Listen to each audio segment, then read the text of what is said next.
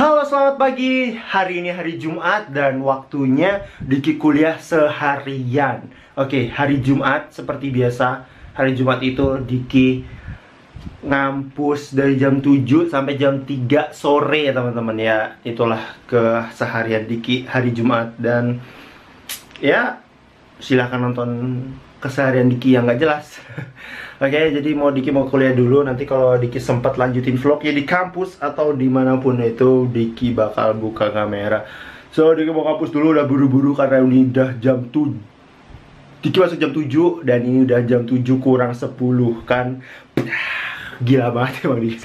Diki emang kampret kalau masalah kuliah gitu-gitu. Ya, yeah, so Diki mau banget dulu. Nanti Diki lanjutin kalau udah di mana pun itu da da da da da da da da da da da da da da da da halo Diki udah pulang dari kuliah tadi dan sekarang lagi ya Mbak ya marah teman-teman ya kan Diki kan Diki kan udah oke jadi kayak gitu berdarah sini loh berdarah oke jadi ya kayak gitulah pokoknya habis ini kan udah jam 3 udah pulang tadi kan. Jadi ini kan mau apa? Mau ke klinik. Mau ke klinik.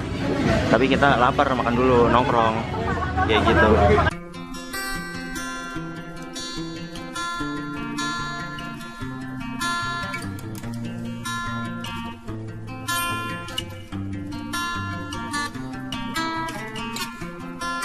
Ya adalah Diki lanjutin lagi kalau udah di rumah ya? Saya siapa yang liatin halo. Udah woi siap ini udah hari Sabtu dan fokus fokus. Oke. Okay. ini udah hari Sabtu dan ya kemarin Diki pulang dari facial udah capek teman-teman. Dan sekarang ini udah hari Sabtu udah harinya saatnya Diki Eh, jalan-jalan uh, sama Bayem karena udah seminggu kita nggak bertemu. Akhirnya kita harus berjalan-jalan ria ya. Wajah Diki kelihatan banget abis perawatan gitu jerawatnya keluar semua. Jadi ya kalau emang habis facial kayak gitu biasanya sehari dua hari ntar juga udah kelar. So yap ini udah marib habis sholat mau ke langsung ke rumahnya Mbak Iem niatnya sih mau installin laptop temennya tapi nggak tahu. Tapi tadi dia nge-BBM Diki kalau di taman KB ada lampu-lampu bagus nggak tahu itu apa ada apa Diki nggak tahu. Ya udah kalian ikutin aja ya Diki mau siap-siap dulu habis itu berangkat. Nanti kalau udah sampai ayam Diki lanjutin vlognya. Dadah. Dadah. Halo. Kita lagi makan dulu. Dan Wih. ini yang kemarin waktu di gimana? Sandi. Sandi, Jeng Songo. Ya, kita berhenti makan dulu dan bayam. Ya, dia lagi mau ketemu sama temennya. Kita mau makan dulu, bro. Ya, makan apa kita? Makan apa kita, bro? Uh, nasi uduk Betawi. nasi uduk Betawi. Ada? Asinan. apa? ngawur udah kita makan dulu bro. Udah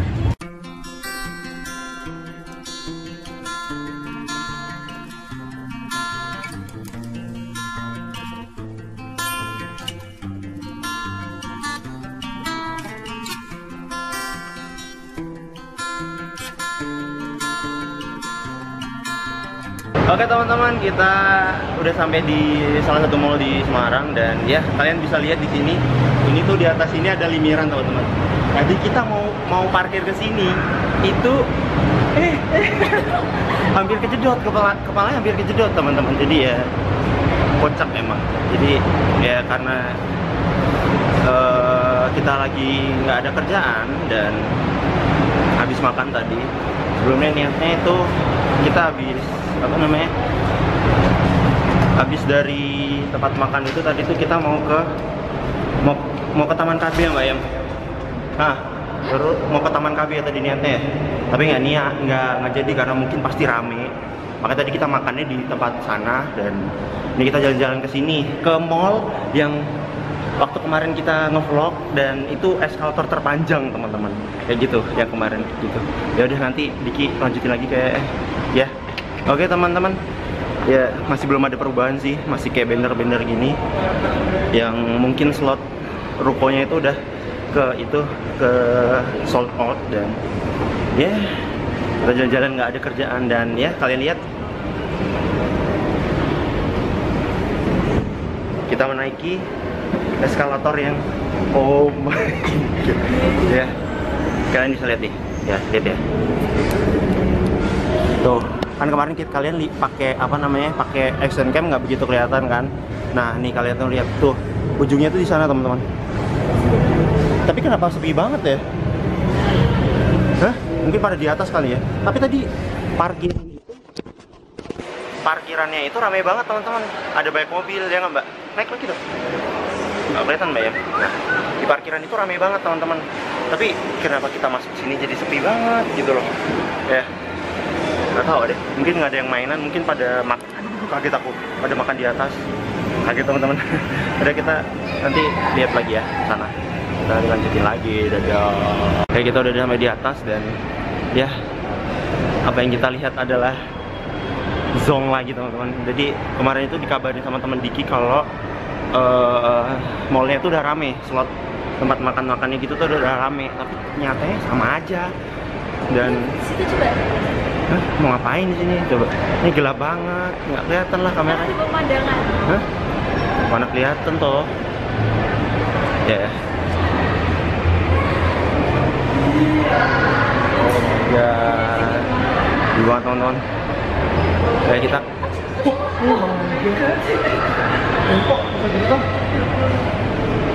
ya jadi tadi ini. disenggol dan ya, ya biar jatuh. Udah kita mau ke mana nih? Ayo. Kayak kita salah salah mall deh. Tahu gitu tadi kita ke ke itu ya. Ke CL aja makan es. Ah ayolah jalan-jalan sana yuk. Ngapain di sini? Ya ya kita mau ngapain lagi teman-teman? Isinya kayak gini nih lihat. Tuh nggak fokus. Tuh. Masih sepi. Masih belum banyak sama aja kayak yang kemarin. Gitu loh. Ini gimana? Mau mau nongkrong di sini? Tuh, ini bakal ada lagi. Apa kali ya? Nggak mungkin ya? Hah? nggak mungkin ya? Lebih keluar. Keluar. Hah? Terus mau nongkrong ke mana? Itu sana masih ada lagi. Oh. Ya udah. Ini mau ke mana? Balik. Pulang. Balik. Hah? kita bingung teman-teman. Dan udah sampai sini kita udah sampai sini tapi lihat apa yang terjadi. Sama aja. Nggak ada yang berubah sama toko-tokonya atau apa pun itu teman-teman. Payah lah. terus gimana pingin es Hah? Ya, es apa lagi es McD kan Zong teman-teman ya mau nggak mau kita ke mana mbak? Kita ke mana? Malah foto nggak jelas. Aku mau joget lah aku mau joget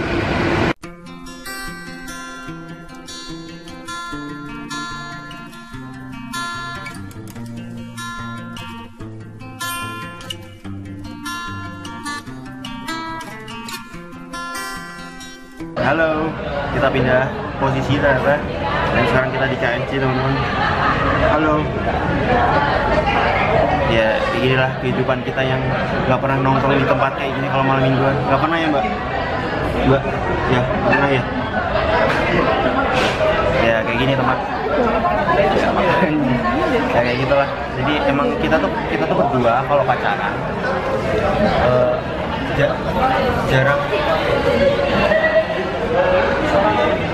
jarang banget nongkrong-nongkrong kayak tempat kayak gini teman-teman. Ya bukannya kita nggak kenapa kalau nggak kita kalau ngomong apa? Iya kita ya kalau malam mingguan ya biasanya makan. Kalau nggak makan ya muter-muter. Itu apa namanya ngantar kerjanya Mbak Im Hah? Nggak, iya. Biasanya KFC ada lagu-lagunya tapi nggak ada. Khusus kita karena kita mau ngupload kan. Jadi lagunya di stop mbak itu makan apa tuh? Kayak makannya es krim. Itu pingin gendut teman-teman. Nggak tahu. Padahal semua orang tuh pingin. Dia tuh kurus tapi dia pingin gendut nggak tahu. Padahal kalau gendut kan aneh gitu kan? Dia kan cantik gini gitu. Mau ngapain kita mbak? ya kita nggak pernah nongkrong kayak gini. Ya ngomonginnya ya ngomongin apa? Udah malam juga nih. Tumben kita jam lebih dari jam 9 belum pulang. Tumben banget hari ini. Ya nggak?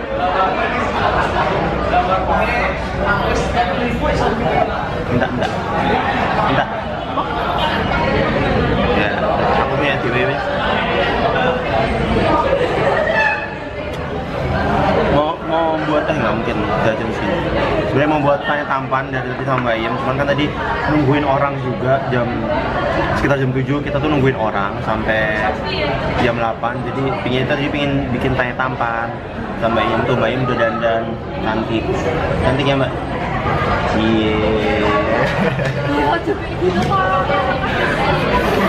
Ya kayak gitu terus ya malah sampai jam segini. Ini udah jam berapa? Jam setengah sepuluh ya paling habis ini kita pulang kayak gitu. Ntar besok pagi Diki mau lari-lari ya.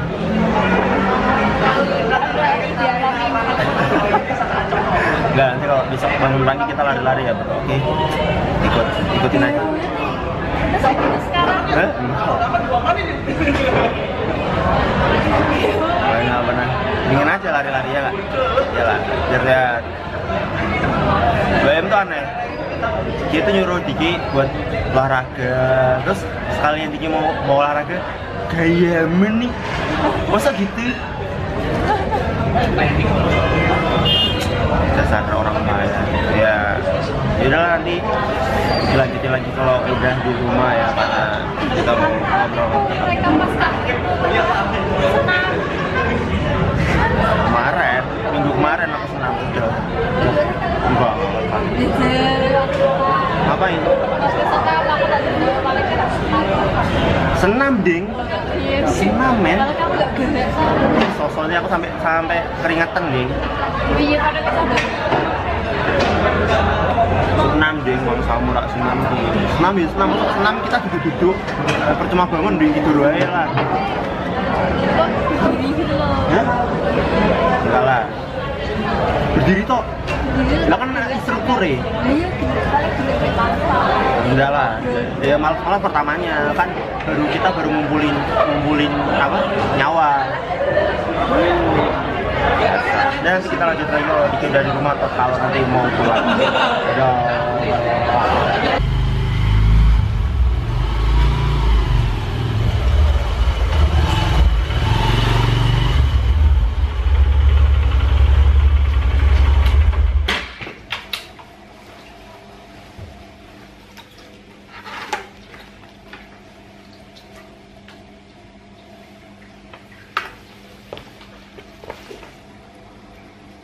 Oke, ya teman-teman Diki udah sampai rumah dan ya baru sampai rumah udah dari tadi dan kalian bisa lihat di sini.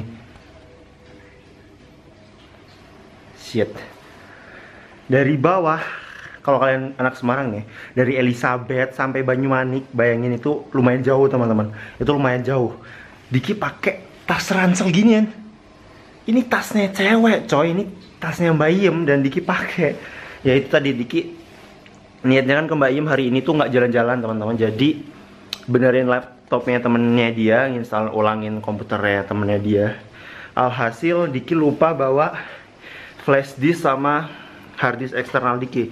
Jadi ya nggak jadi install ulang akhirnya. Yang tadi teman yang tadi makan berempat tadi dan alhasil ya udah nggak jadi benerin laptopnya dia terus jalan-jalan Diki sama Mbak Yem ya mau gimana lagi coy Wah, hari ini jadwal Diki banyak eh, yang harus Diki kerjain banyak teman-teman. Wow. Kalian mau ini nggak? Tiba-tiba ada Diki mau ambil dua ah. Nice. Ah, ini bawahnya gimana nih? Susah nih. Oke.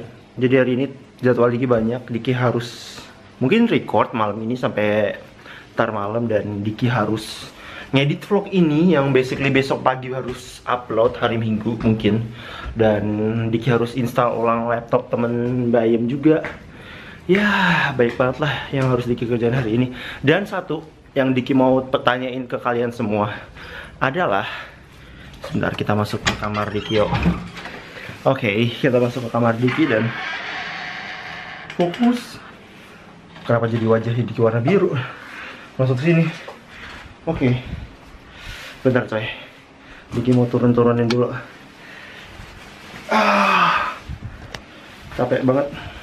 Berantakan bro. Kamar Diki itu berantakan. Dan apa yang harus yang mau ini nggak bisa dicopot. Ya udah nggak apa apa yang mau Diki tanya ke kalian yaitu adalah Diki mau tanya gimana kalau Diki mau tanya gimana enaknya Diki pakai blue screen atau enggak? Jadi Diki punya pikiran kalau Diki bakal pindah ke blue screen lagi ke yang dulu posisinya.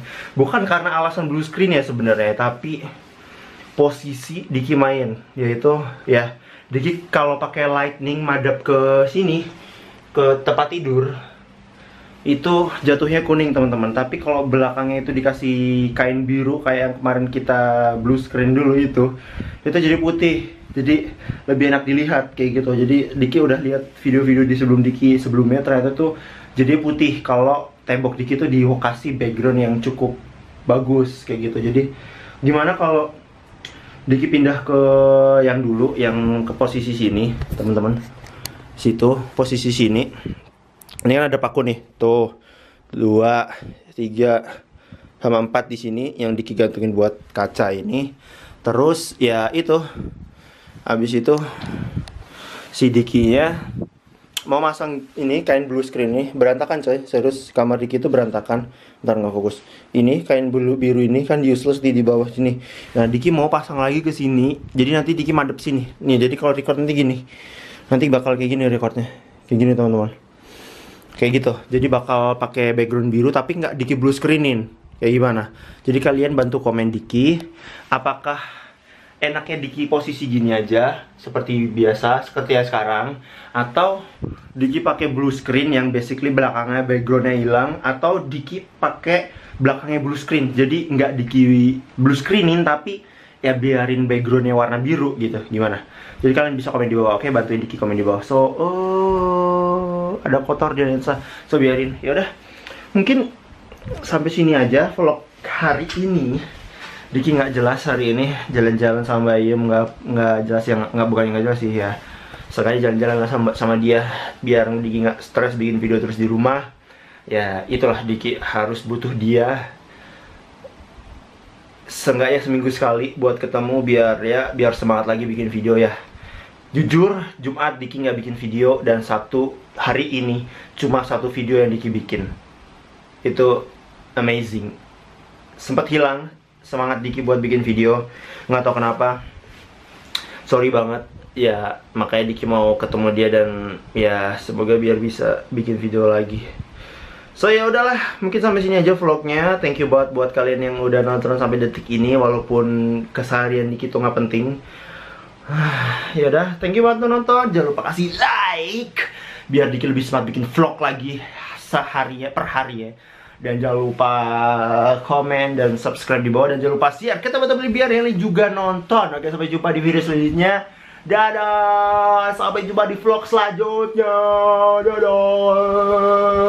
Oke kita tadi barusan kelar bikin challenge nggak jelas. Yang challenge cepet banget 8 menit udah kelar challenge-nya kan gila banget dan ya ini si dia pemenangnya